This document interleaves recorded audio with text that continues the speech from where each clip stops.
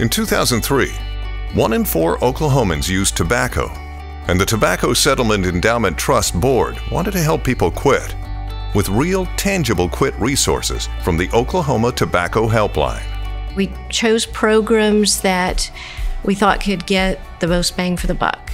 And one of the first was the Quit Line, or Helpline as it's called now, which could have statewide impact, would give people an opportunity to call in and get a counselor and help them stop.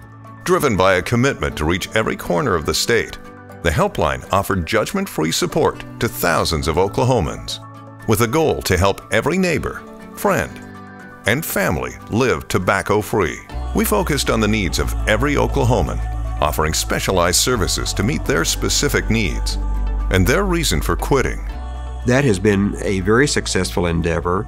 Right now, Oklahoma is recognized as having one of the best helplines in the United States, and, and, we're very proud of that. We're top in the country in reaching tobacco users who are seeking treatment.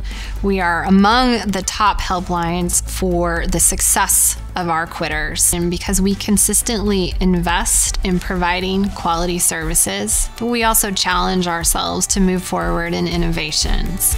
As we celebrate 20 years, we take pride in our evolving resources, such as specialized youth services and modernized outreach methods. And we share our success and research to push the field forward on a national level, all of which have contributed to the lowest adult smoking rate in state history. And we have transformed and saved thousands of lives statewide.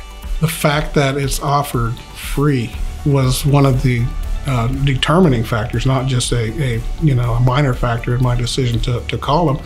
It was the factor. Having that support from the Oklahoma Tobacco Helpline was instrumental in my success to be able to quit smoking and continue long into the future not smoking. I would not have been able to afford nicotine replacement therapy without the helpline. It was crucial and vital to me quitting tobacco. If it wasn't for the Oklahoma Tobacco Helpline, I'd still be smoking cigarettes today.